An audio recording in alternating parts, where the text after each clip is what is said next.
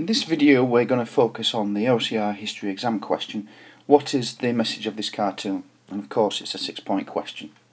Uh, the topic of this focuses on the League of Nations as you can see there and the cartoon was published in 1919 so it's published uh, around the time of the founding of the League of Nations. So let's just familiarise ourselves with the mark scheme here. So always when answering GCSE exam questions, always consider the uh, mark scheme. And for one or two marks out of six, you're simply going to answer the question. You're going to directly answer it without backing it up. And that leads us on to three to four marks out of six. In order to get these marks, uh, you need to make reference to um, the source details within the cartoon itself. So for example, you're going to make reference to the different points here and you're going to figure out what they represent and what it symbolises. And then finally, when focused on this type of question, you should always consider the contextual knowledge, and you'll need to include that within your answer. So essentially this means what was going on at the time. And it's the context of uh, America during this period that's really important for the cartoon. In 1919 it was the idea of President Woodrow Wilson to set up the League of Nations. It had several main aims, but principally it was concerned with trying to achieve world peace, trying to prevent such a horrendous conflict as World War One from happening again.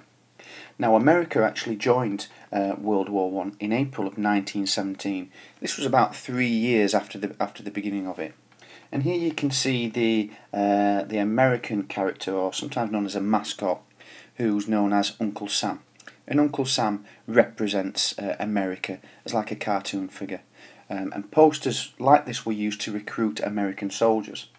And as a result of such uh, recruitment drives, hundreds of thousands of American soldiers fought during World War One. However, just after 18 months of fighting, the Americans lost 110,000 men. And in such a short time, this was obviously a massive shock to the American people. Now, this had a knock on effect of America's views of getting involved in such an organisation like the League of Nations. Many felt that America should not have got involved in the squabbles of the European countries, uh, which were thousands of miles away. Many felt that they should have avoided getting in, getting involved in such a horrendous conflict that ultimately killed 110,000 Americans.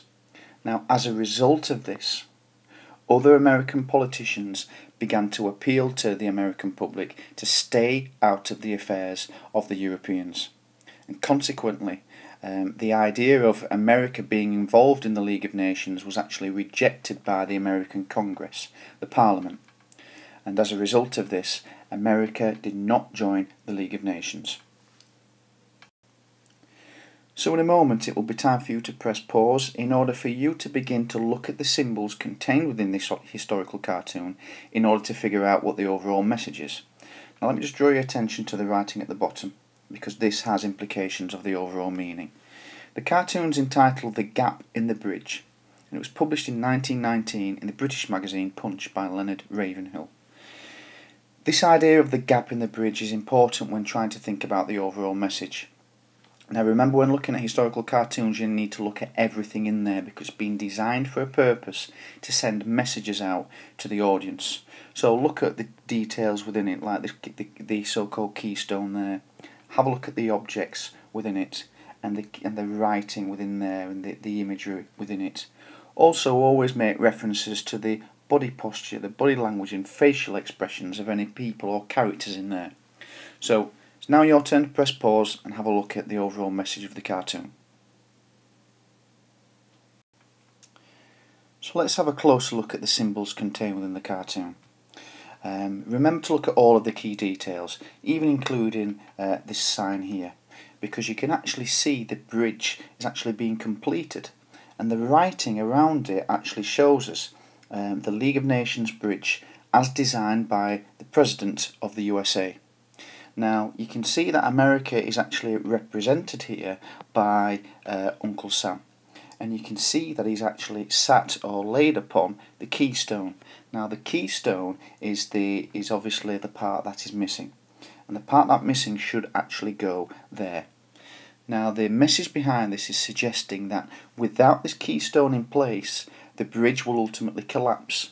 The bridge will be weak, and consequently this area around here at the bottom this could represent almost as the, the despair of the world falling into war again. Also, if we look at the body language of Uncle Sam, we can see that he's potentially either asleep or he's dozing in the very least, and you can see that this gives the message to the audience that America does not seem to care about what will happen without the Keystone in place. Now, at the time when this was published, it was actually published in December of 1919, three week, three months before the American Senate or Parliament voted not to join. So this is actually a criticism against the Americans. It's criticising uh, the Americans for delaying um, their joining of the League of Nations, or actually a warning of what will happen if America does not join. So the overall message of this is saying that the, the League of Nations represented by this bridge will be weak and consequently it will not be successful in its aims in trying to stop another world war. So if we begin to make links back to the mark scheme, you'll see that if you simply just answer the question and directly state what the message is, you're just going to get one or two marks out of six. Of course, what you then need to do is as well as answering the question, you need to use source details to back up your answers. And you'll need to make references to the body posture of Uncle Sam and what the message that is for the audience, and the missing keystone, and the effect that this will have on the bridge there, and any other comments perhaps to do with the gap underneath the bridge. Now don't worry, you only need to make two or three points to back this up, you don't need to use all of them. And then for the contextual knowledge, you need to make some references about why why was uh, the USA um, refusing to join the League of Nations? Then you can make links back to the idea of how 110,000 men died in just 18 months of World War One, and how some American politicians began to appeal to the American public that it was better if America stayed out of the affairs of Europe in order to avoid such a catastrophe from happening again.